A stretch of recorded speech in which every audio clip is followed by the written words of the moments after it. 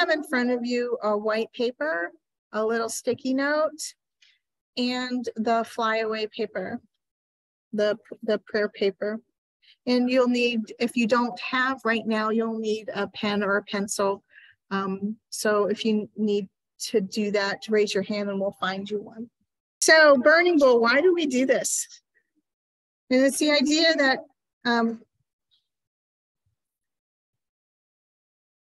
that we release any of those elements within us that we don't want to hold on to anymore or we want to transmute and and move. And because we know nothing's ever lost but it can be transformed right?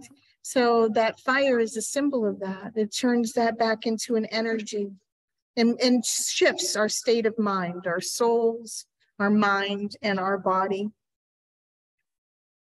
anything that doesn't fully align with the person that um, we know we already are, right? Or the one that we are working on trying to be. So everyone has something sometimes that activates them or triggers them, whichever word you want to use there.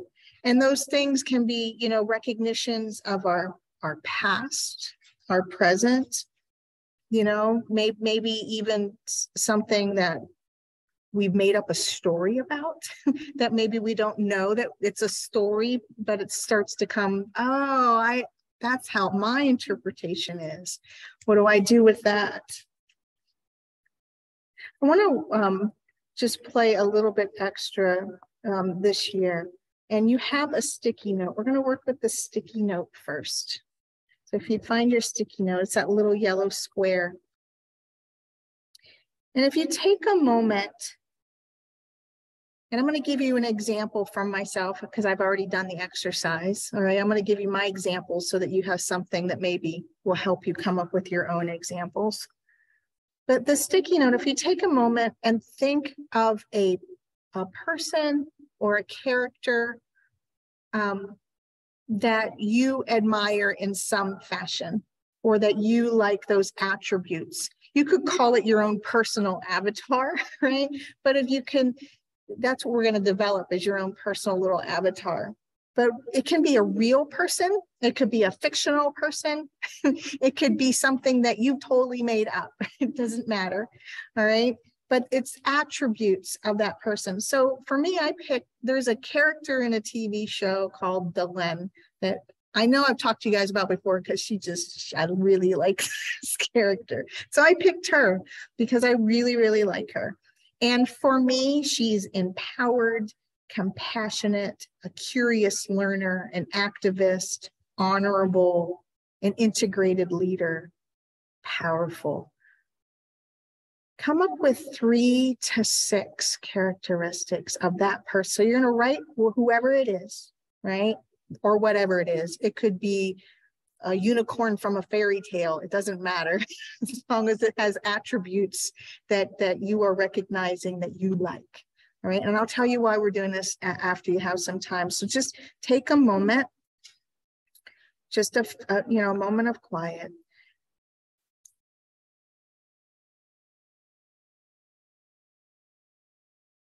You can participate.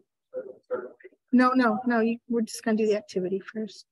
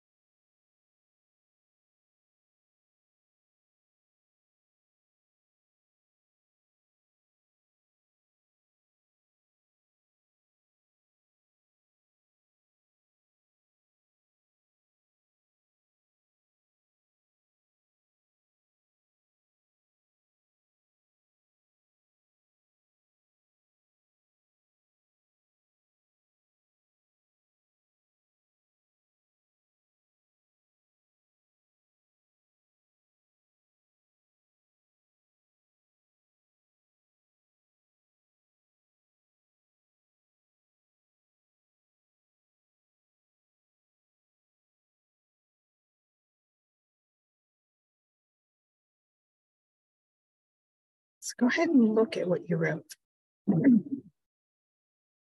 Look at those beautiful attributes.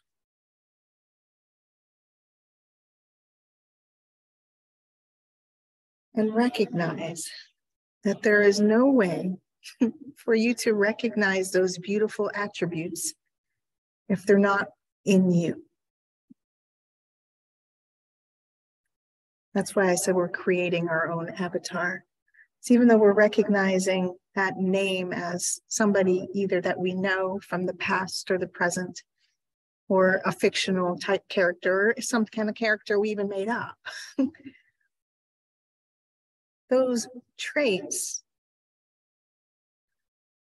that's a mirror for you as who you really are or who you're aspiring or what you're recognizing is in, inside of you. Sometimes it's really hard to recognize those things, right? Yeah. So, for example, one of the reasons I added this activity um, is because you guys know I've been joining that ministers meeting for the last few months. That's once a week. And I do a lot of listening, and sometimes I type in the chat, but it's not too often I actually open my mouth. And I, I did this time, and it was just you know everybody was bantering ideas. It was, you know, it shouldn't have been a big deal to banter ideas, and yet I found myself pulling back on what I would have normally shared, you know, or what I what was actually running around in my head. I had to think about that. I'm like, what the heck? right? What what's that about? So in feeling that, and this is what we're going to hopefully put in our fire today, is what parts don't allow us to fully recognize those beautiful traits in yourself. You know, so when I sat with, well, why the heck did I cut myself short and didn't really say everything that I wanted to say? the the words of I am worthy or I'm not smart enough or I don't have enough experience. All of those kind of things came to the surface. It's like, well, what's that about? Right? what is that about? And then you sit longer. And what is it that came up? And I realized, sorry, I realized there were a couple, more than a couple instances in my young life you know, up through college times, where I would express something and they get told by people that were closer to me, oh, well, you don't know what you're talking about. It doesn't matter that you did uh, all that research for 15 weeks. Your thesis statement is just not correct. There is no way that could possibly be. You must be listening to people that don't know what they're talking about. You, are you, too much of a, a um, what was the word? Whatever the opposite of, you know, you, you're too whatever, you know, you're not real enough. You're not being real enough. So those things, even though those are a long time ago, right? If we don't recognize those, they can come up in moments when you think everything's okay, right? Which is what happened with me the other day. And I think that happens to all of us more often than maybe what we recognize. It doesn't have to be, so, I mean, that was a tiny moment, but it made me think and realize there's something in there that I can put in that bowl today. I can put those ideas right in there the ideas of unworthiness and not smart enough, and even put in actual things that I remember that had happened that stuck in my brain that may have, you know, that stuck too long that are still in there, even though they were from years and years and years ago. That's the release. The release is not a magic button to say, I'm going to throw this in the fire. My life's going to be really cool right now.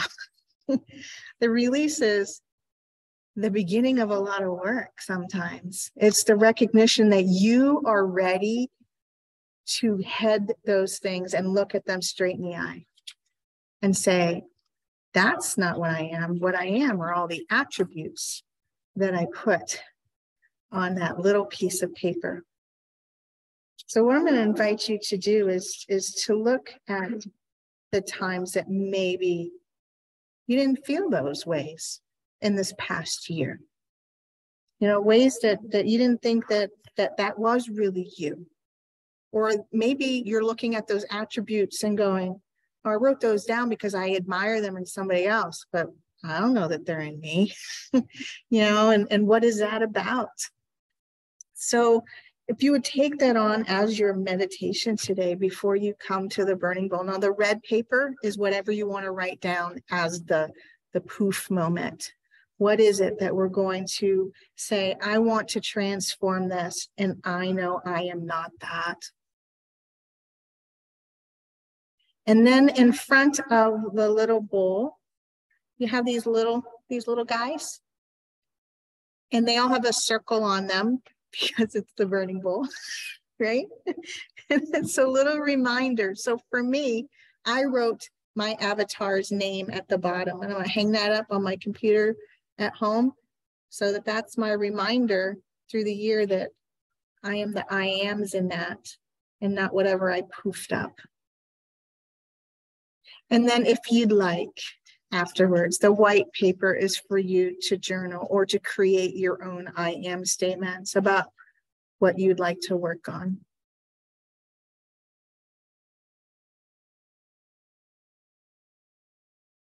A couple last things I'd like you to consider that you can use your white paper for. First is the idea of creating those affirmations from your avatar. Things like, I am worthy or I am powerful. And you see that the gratitude, our gratitude basket from the last year is up there. We're ready to start a new one. And on your on your white papers, if you'd like to think about some anticipatory gratitude, what are some things this year you fully expect to recognize and be grateful for.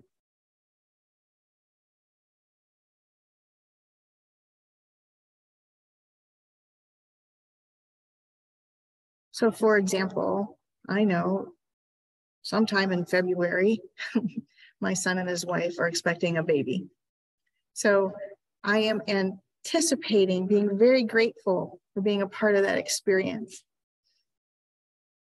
It could be things that you don't know are really going to happen that you just kind of expect. I fully expect to be grateful walking around some trees and crunching leaves sometime this year. What do you anticipate being grateful for? Close by um, our ceremony by reminding us how we started, that this is a fresh start, centered in divine we create a fresh new life.